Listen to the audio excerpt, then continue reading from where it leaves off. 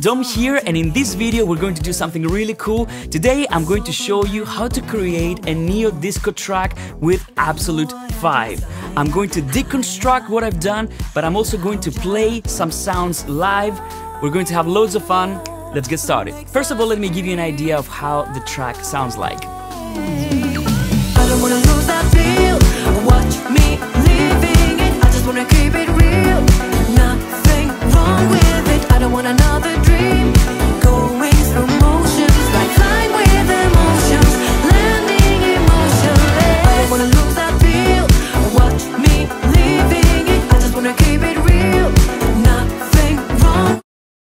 So as you can hear, there are lots and lots of elements in this track, many instruments. So let's break it down and I'm going to show you how I also perform these instruments.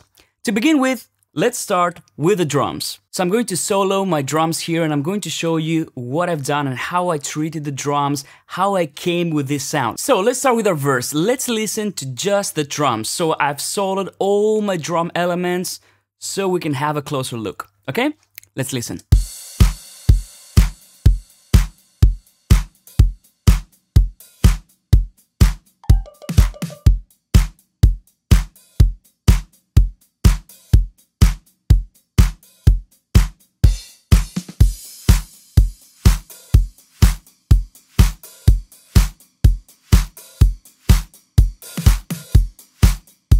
So as you can hear, it's stripped down, it's a little bit less busy than the chorus when we get to the chorus, but there are a few elements that come in in the second part of the verse to make it a little bit more interesting.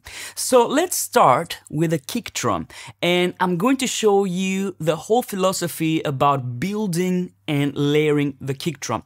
The kick drum basically consists of three tracks, right? So we have the Retrolog sub, which is my sub for the kick. We have the kick knock, and we also have the kick click. Okay, so let's just listen to these three and let's see what we've done here. Okay, so if you want to really listen what's going on, make sure you wear headphones because we're going to talk about sub frequencies here or listen to a good pair of studio monitors. So let's start, and I'm going to start with the subs. And the subs, you might be surprised, but it's not a sample, it's Retrolog. Okay, so this is a preset that I've created with Retrolog. It's called DOM Ultra Sub Kick, and it's a very, very simple preset. Feel free to copy the settings, but basically, for tracks like this, I always make sure that my sub kick is customized and I want to make sure that it really feels the low end, okay? So it's just a sine wave, as you can see here, tuned really low and I have a quite short decay time, no sustain, a little bit of release, 9 milliseconds of release so that we avoid any clicking, and I have a cutoff for my filter around 400 Hertz. This is a sine wave, so you don't necessarily need to filter it, but what I've done here is I've added my filter cutoff to 400 Hertz and added a little bit of resonance because this gives me a little bit of a bitey sound, okay? And then I added a little bit of distortion. Now, the trick that I've done here to add a little bit more attack and more punch is I've assigned the filter envelope, so this guy right here, to the oscillator pitch. And I've added a little bit of modulation and this way I'm turning the filter envelope into a pitch envelope essentially. So let's have a listen.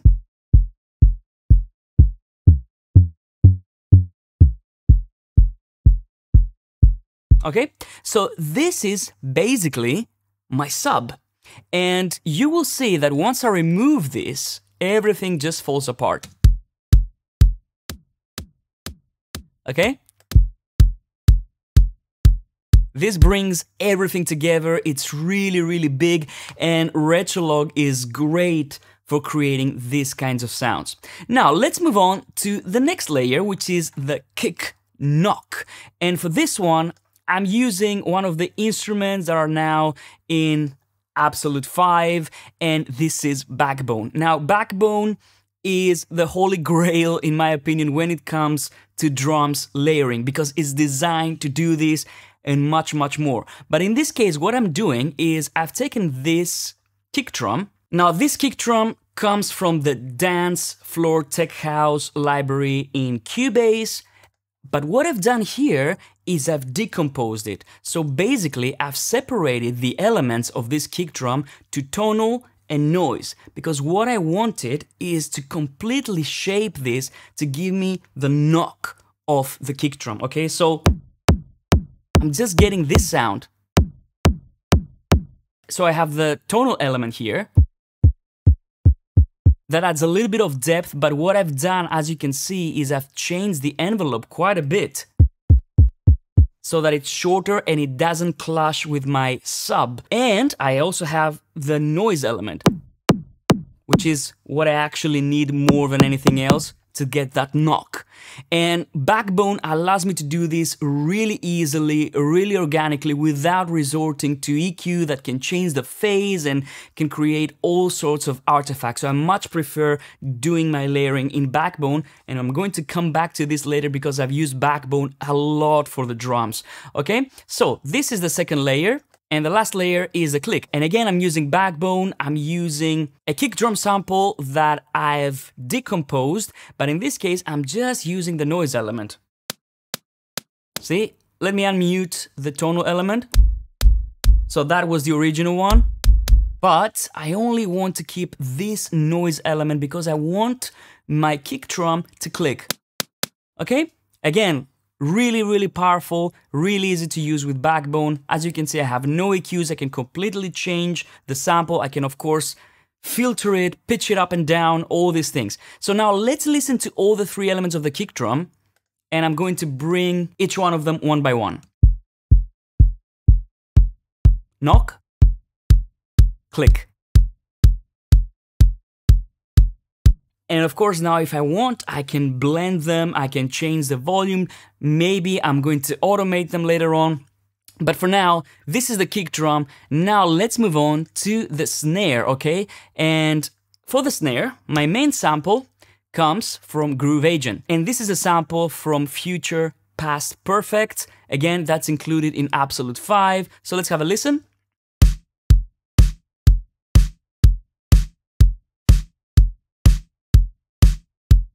So this is my core sound, and then I'm layering this with a snare top wide layer.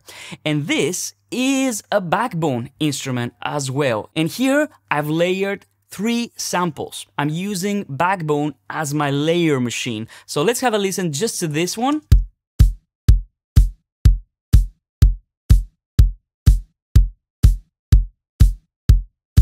So what have I done here? I've taken these three samples, which are basically noise samples and a tonal sample, and then I've duplicated this noise element, see this one here and this one here, and I've panned them left and right. So this one goes left, this one goes right, and this way I'm achieving a really wide sound.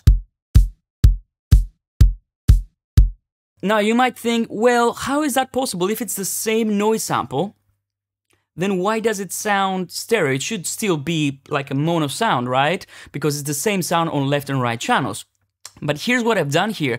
This is the noise sample the way it is, like as normal, as it came from the decomposing function. Again, if you want to learn about decompose, we have a dedicated video in this channel, so make sure you check it out. But essentially, I'm using the normal noise sample, and then I duplicated this here, but in this case, I've resynthesized it. So I get a completely different sound. Let's listen to them. Original. And resynthesized.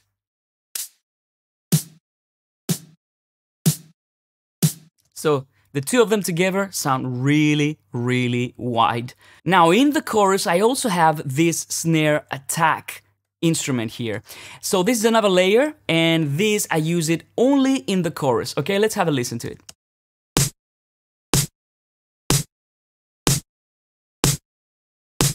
Again, this is a decomposed sample. I just tweaked a little bit the decay of the pitch envelope just to make it a little bit more snappy. Okay, now let's move on to the claps, okay? Because this is very, very important for this kind of neo disco sound. Let's listen to this clap and let's see what I've done here. This is, no surprises, again, backbone. Let's have a listen.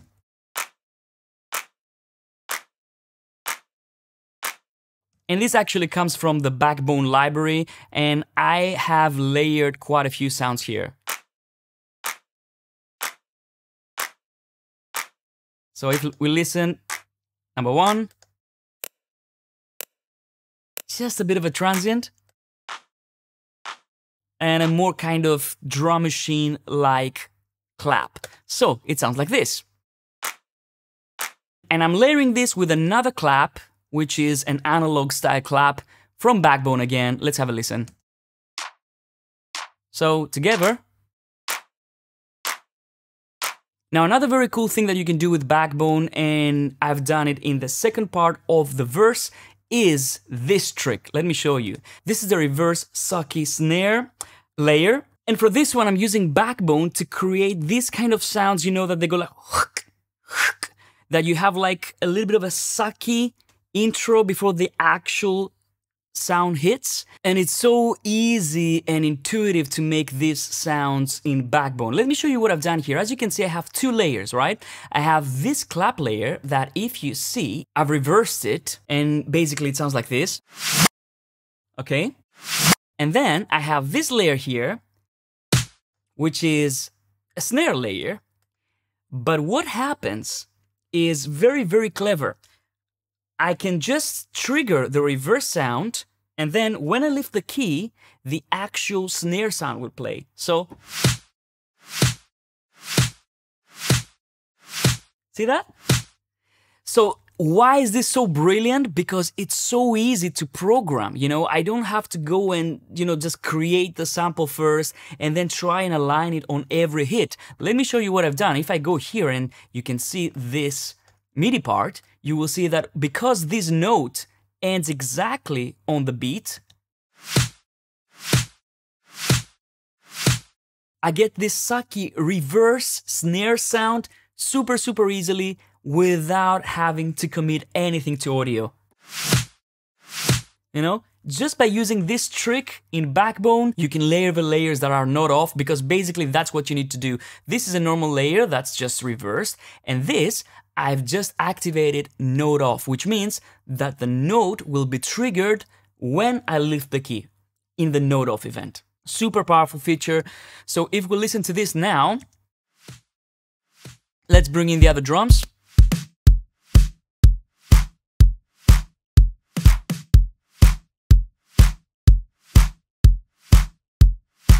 And the other thing that I want to show you is the acoustic drums. The acoustic drums I wanted to add them as an extra layer for beefiness, but also a little bit of an organic feel because for this neo disco sound, I like layering some acoustic drums. So for this one, I'm using the Groove Agent 5, the kit and more specifically the lightning preset that I've kind of modified to make it a little bit more dead. So I went to the mixer and I've turned down the room microphones to make sure that the sound is very, very dry, very much like disco, okay? The original disco drum kit sound. So let's listen to how it sounds with the rest of the arrangement.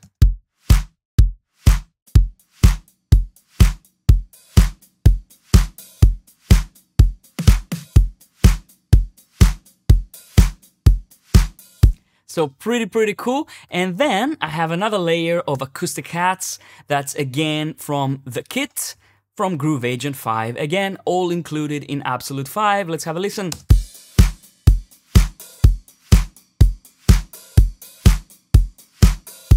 And as you can see, I have some layers here, some crashes that come from the Future Past Perfect expansion. So don't forget Future Past Perfect. You can use it as complete kits in Groove Agent, but you can also use it as separate samples. That's very, very cool. So let's move on to the chorus now and let's see what else I have here. So I have this clap wide layer, which is again a nice backbone instrument. Again, I want to get more excitement in the chorus, so let's have a listen. a hats layer. Again, I'm using Backbone here. I've re-synthesized this hi-hat to give it a little bit of a moving quality. If you use resynthesis in Backbone, it really opens up a brand new world of possibilities and sound design. So that's why I resynthesized this hi-hat.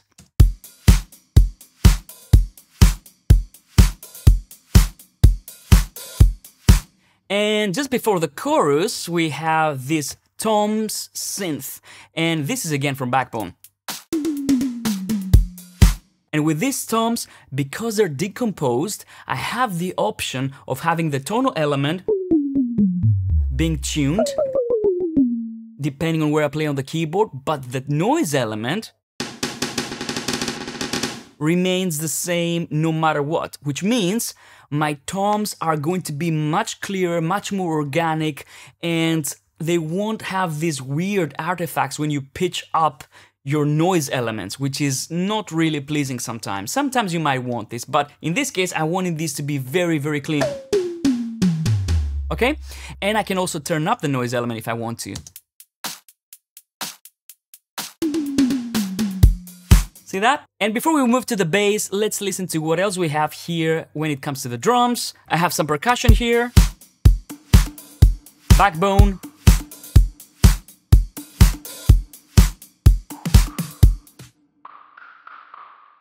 Some synth percussion. And some more toms. Some really big toms actually. And as you can see, these are some monstrous eight layer toms, okay? We have eight layers to get these big toms. But they do sound brilliant. So this is the drums deconstruction. I also have some more samples here from Future Past Perfect. Let's have a listen. So really, really cool library. And for this kind of music, it's perfect. So let's move on to the bass because we have some really cool things going on there as well.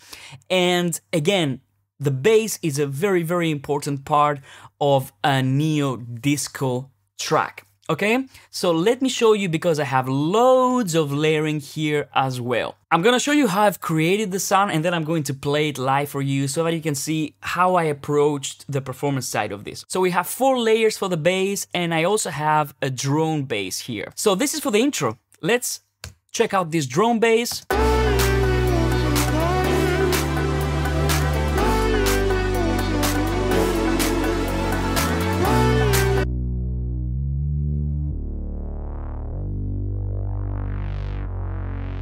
And this is a really straightforward sound. This is a sound that I've created for this drone bass for the intro. Uh, I love creating sounds from scratch on Retrolog. It's such an easy synth to use, but it has all the options that you might ever want. So this is a very simple sound. What I have here is a triangle wave to get the low end, but I also have a multi sawtooth wave to give this sound a little bit of width a little bit of an open sound. So let me show you just with the triangle wave. And this is when I add the multi-oscillator.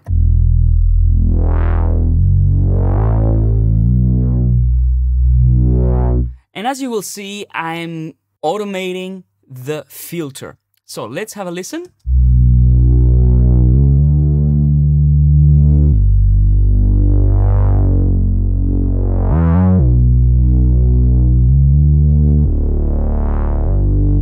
Again, try and give a little bit of movement to your sound. Even just a simple filter sweep will make a world of a difference. Now let's go to a very interesting bit because here we have quite a few layers for the bass. So let me play this bass groove for you and I'm going to explain after this what kind of layers I've used for this.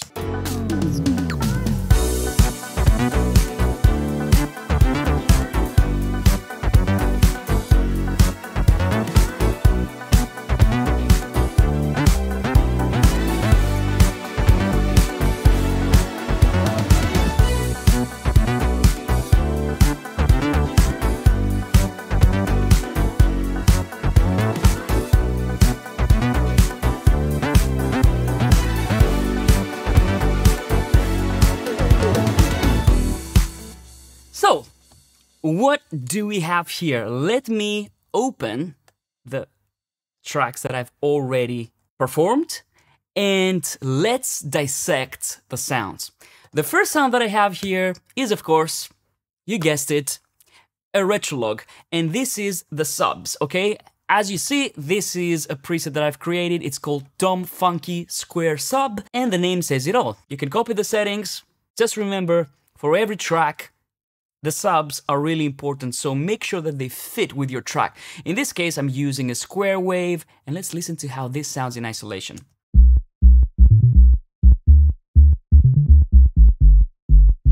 And I mean, Retrolog is really fat, okay? This is just a square wave. I've added a little bit of filtering at 80 hertz, no resonance, just a touch of distortion, a touch of tube distortion, and a touch of envelope for my filter. And that's pretty much it. Really, really cool. Now, next we have the electric bass. And again, this is included in Absolute 5 now. Here I've used an MM bass. I think you all must know what kind of bass this must be, MM, you know? And I've also added a little bit of processing, you know, you can have the DI sound, but we can also have the amp and effects channel blended in. And it sounds like this.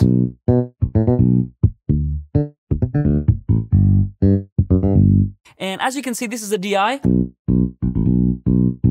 And then I added a little bit of compression, a nice amp that gives me some really nice solid low end, the DI driver, and a little bit of a graphic EQ. And you will see that I'm not really focusing on the low end here because the low end is taken care by the sub from the Retrolog. I am focusing on the mid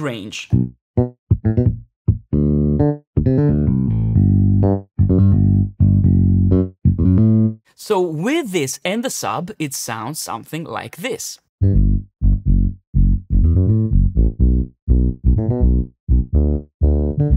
Now, what do I have here? I also have another layer.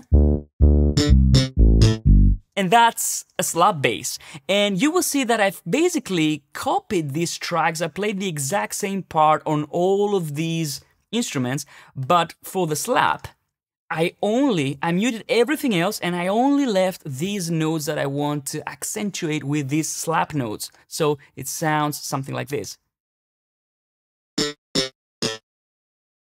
For the slap, I'm using the HALion Sonic Electric Bass VX, and as you can see, I'm using the expression maps here, and I've added a slap expression map for this bass. And it really, really makes a big difference. It gives the sound a little bit of a funky element.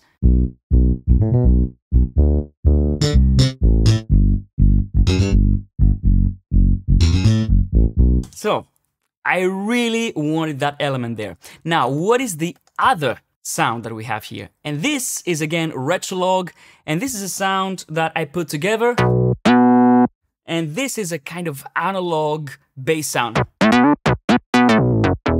Again, with this one, I'm not focusing on the low end, I'm focusing on the mid-range. Because this will give me the attack. So all together, let's have a listen now.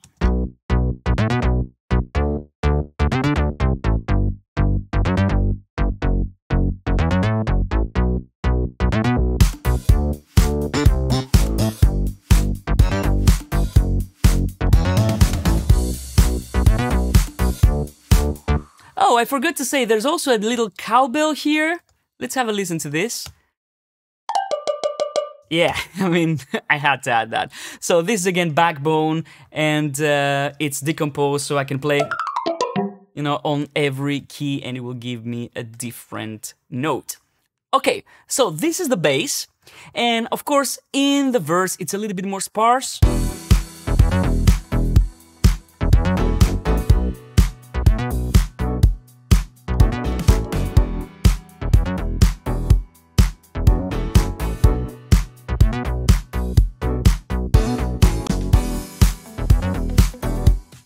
Now let's move on to something else. I also have some guitars that I've actually played. They're live guitars, these ones. You know, just to add a little bit of a funky element to the track. Okay, now let's move on to the synths, the keyboards, all the interesting sounds, and I have some really, really cool things to show you here. Namely, this sound here.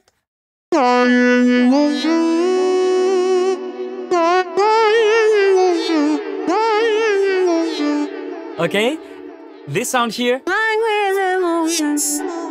Alright, so I'm not gonna show you how I made these sounds yet. I'm going to leave it for last, but let me show you some of the keyboards that I used. And the first keyboard that I used is the Amped Elektra. Beautiful instrument, really organic sounds. And in the arrangement, I actually have the Amped Elektra to play on the right channel. I'm panning it because I have some more sounds there. But just so I can show you how it sounds, I'm going to pan it to the center right now. Let's have a listen.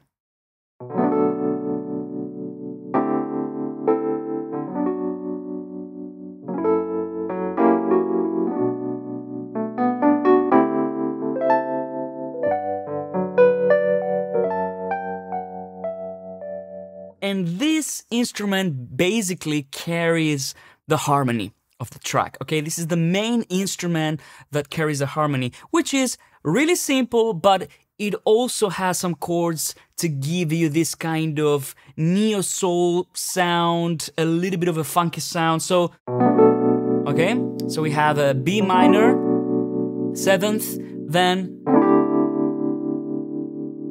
a C over D, or you can call it D sus. As a classical musician, uh, D sus means something completely different to me, but you know, th- so this is C major over D, but this gives us a very, very funky sound. And then G major seventh.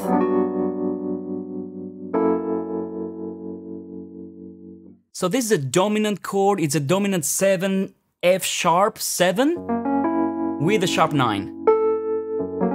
Again, it gives us a very, very nice soulful flavor. Let's play this live.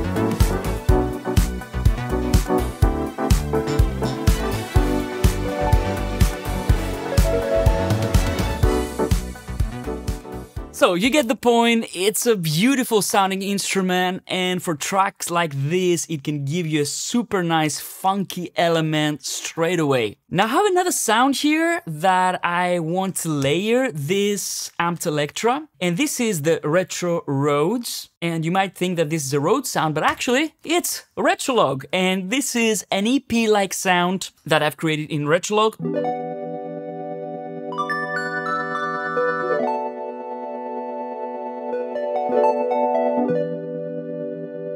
So this gives me another layer, a little bit of a more rich sound when I layer it with the Amped Elektra. So I'm going to copy the MIDI part here.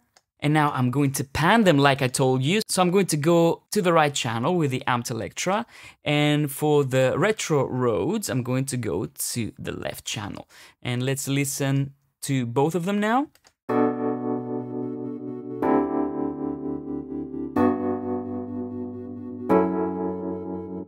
And by the way, in order to get this really, really you know, kind of metallic sound with Retrologue, I added a cross modulation oscillator here. So this is what gives me this ting. You hear that? It's a very distinct sound. Now, what else do we have here? I also have an acoustic piano, and the acoustic piano comes from the HALion Sonic 3 library. This is Eagle, and it's great if you want to get this really bright, punchy piano sound, especially if you turn the tone a little bit to the hard side, okay? Let's have a listen.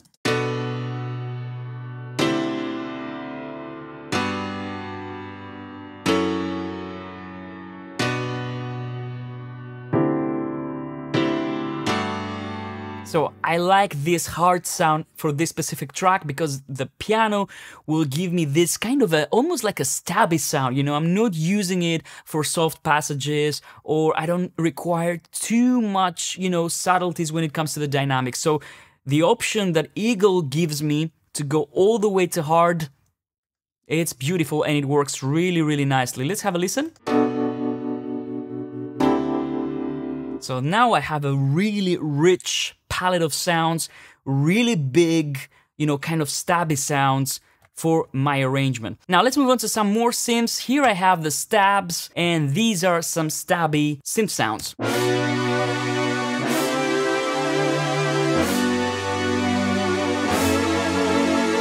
And again, this is a sound that I put together in Retrologue. It's really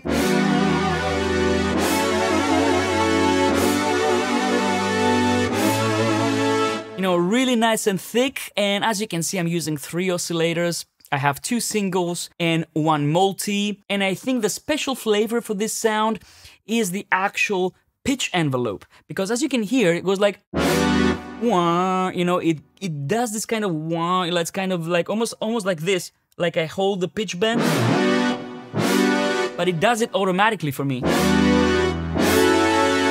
And the way I've done this is I'm using the envelope 3 here to modulate my pitch. So basically what this envelope does, as you can see it here, it's assigned to oscillator 1 pitch and oscillator 2 pitch, and it creates this kind of bendy effect.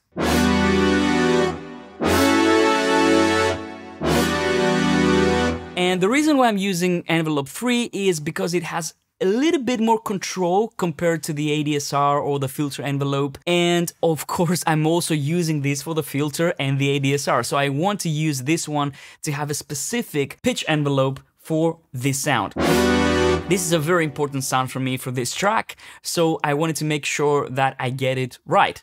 Speaking of important sounds, I have another cool sound, and this is the Candy Strings. This is another Retrologue sound, but this comes from the Sounds of Soul expansion, which is great for funky sounds, for pretty much what we're doing here today. So, this is the Candy Strings. And this is again a very important sound for the chorus because this is what also enhances the harmony. And it's like a long sound that keeps everything together. And then when we add a bit of sidechain with the kick drum, this really creates a nice pumpy effect. It moves really nicely. Then I have the in the mirror strings that I'm using as well in the chorus.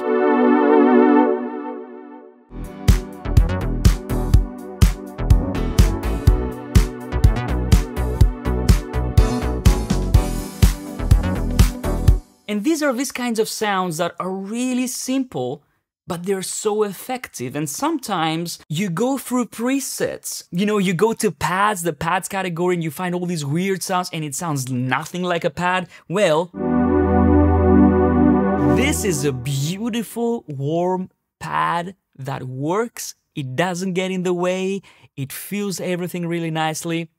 And that's why I like the Sounds of Soul expansion because it's filled with super useful sounds. But then I have again a very, very important element, and these are the disco style strings. And this is something that for this kind of track, it, again, it was a very, very important sound. It's a staple for neo disco and for disco actually, and they sound like this.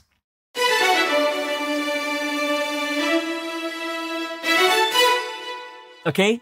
very typical disco string sound. Now let me show you how I've done this, how I came up with this sound. So as you can see, just two layers, but let's try the first layer. The first layer is the studio strings from HALion Sonic 3, okay?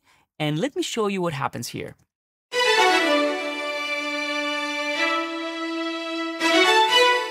Okay, so let's open my key editor. And as you can see, I've only programmed a few dynamics here, you know, with my expression, just to create this kind of crescendo here.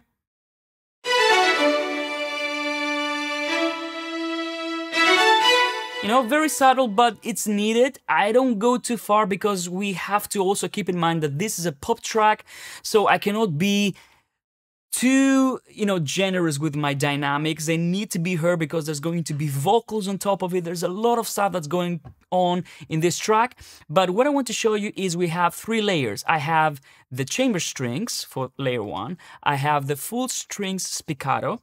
And I also have the chamber strings spiccato. So it's a very dense sound. So when I hit a note, I get the initial attack that I want, but then I have control over my expression in the long notes. So I can still have this really sharp attack, but I can also have control over the dynamics. Now, why did I add another layer here? I added another layer because in HALion Sonic, we also have this patch called Large Strings VX. And these really sound great for this sort of thing. Let me play them.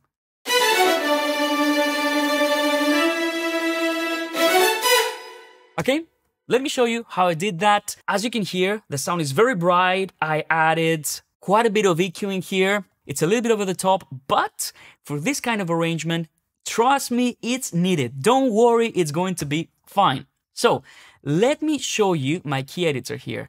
And this is what I've done. See? So this is exactly the same notes. They're played in octaves, but there's a little bit more going on here because I'm using the expression maps for HALion Sonic. Don't forget anything that has key switches in HALion Sonic or any HALion instrument, you can access it through the key editor in Cubase. So as you can see here, what I've done here is these notes are spiccato, these notes are tremolo, then I have more spiccatos here, and then a glissando down, which is a very, very typical disco sound for strings. Let's have a listen.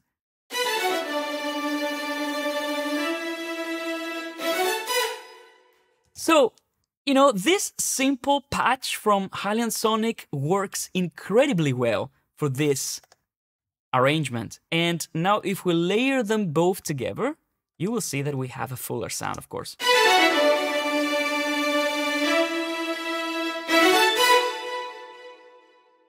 Okay, disco.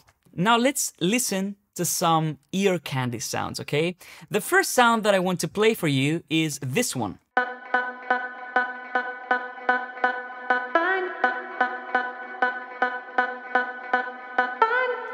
So, this sound is basically the vocal that we heard at the very beginning, and I've dropped this into a HALion instance. HALion 6 can do so many things, but this time I use it as a sampler. So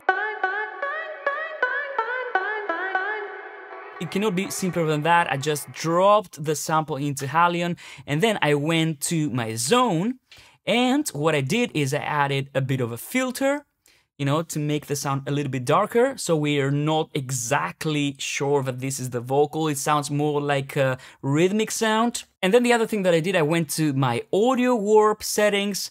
I turned audio warp on and I have the mode in solo. And I also turned on the formant function. So now I can change the formant without changing the length of the sample. It's really, really cool. So this is how I came up with this sound. And of course, I have some processing on it. I have a vintage compressor to give it a little bit of bite. I have the auto pan plugin to make it go left and right. I also have a multi-tap delay. And last but not least, the Revelation reverb to give it a little bit of space. Now, the next sound that is really interesting and I had a lot of fun creating is this one. So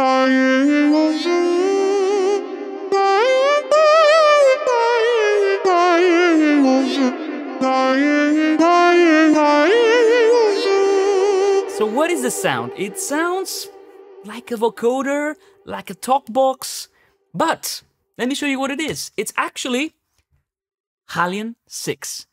And again, what I did was I took the vocal, a sample. You can drop any vocal sample, it will sound great. I can guarantee that. I dropped it into HALion 6 and I used the wavetable synthesis in this case. Again, if you want to learn more about wavetable synthesis, we have quite a few videos on this channel. So check it out because I'm not gonna go too deep into this today, but it's actually very simple. It took me like three minutes to create the sound. As you can see, this is my wavetable and this is my sample. This is my vocal, and I'm using the spectral voiced mode here.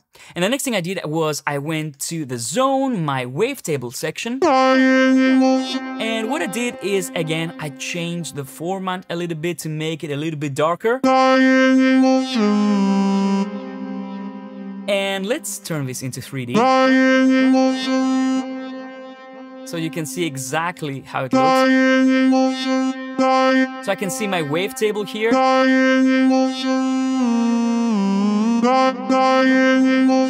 But the other thing that I did that is very, very easy to do in HALion again is I went to my matrix here, my modulation matrix, and I added an LFO, this LFO, to my CC controller, and this is controlling my pitch. So now I can create this interesting vibrato effect.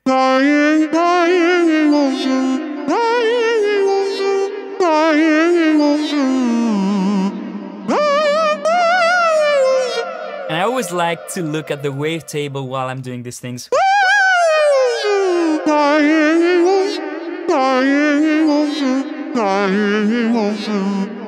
Beautiful, beautiful sound, and seriously, it's so easy to create these kinds of sounds. You'll be surprised. Check out the wavetable synthesizer in HALion 6. It's really amazing. And of course, the ever so important vocals that I'm going to play for you right now. But I hope that now you have a good understanding of how you can use Absolute 5 to create a neo disco track. So I hope you enjoyed this video. I hope you have loads of fun with Absolute 5. Make some great music and I'll see you in the next one. Bye bye. I